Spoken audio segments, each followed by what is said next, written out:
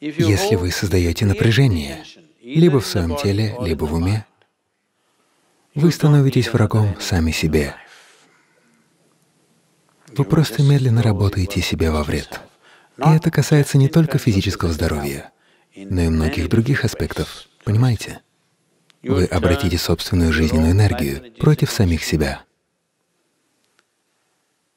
Сегодня мы хорошо знаем, что люди, которые испытывают чрезмерное напряжение, определенно навлекают на себя различные болезни. В этом нет никаких сомнений. С медицинской точки зрения это доказанный факт. Не так ли? Но происходит гораздо больше, чем это. Вы не только привлекаете к себе определенное состояние здоровья или нездоровья, вы навлекаете на себя целый ряд определенных проблем. Потому что в зависимости от того, какие вибрации исходят от вас, соответственно, такие ситуации таких людей, такие конечные результаты своей жизни вы к себе притягиваете.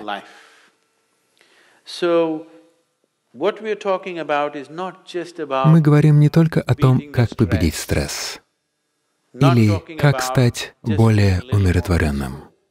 Если вы желаете создать свою жизнь такой, какой вы хотите, вам нужно овладеть определенными базовыми вещами, иначе вы заставляете свою энергию работать против вас самих. И это не... Когда я сказал, что это грозный враг, сам источник творения находится здесь. И лучше, чтобы этот источник работал на вас, а не против вас. Не так ли? Да или нет? Такая мощная вещь, она всегда должна работать на вас. Если она будет работать против вас, вам конец.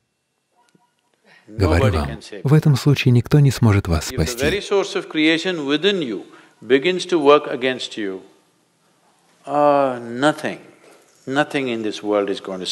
Если сам источник творения внутри вас начнет действовать против вас, ничто в этом мире не спасет вас.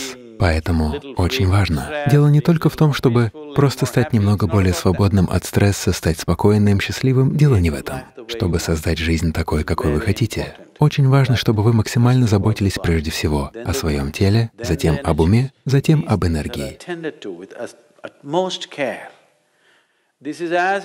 Это должно стать для вас так же важно, как зарабатывать деньги, создавать семью и прочее, потому что даже имея все эти вещи, вы все равно можете быть несчастны. Не только вы сами. Вы можете делать несчастными и всех вокруг вас.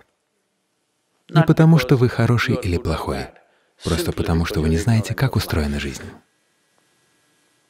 Люди причиняют друг другу боль не потому, что они хорошие или плохие, просто они не знают, как на самом деле устроена жизнь. Не так ли? Да? Когда одного человека начали прибивать к кресту, Считается, что он сказал, они не ведают, что творят.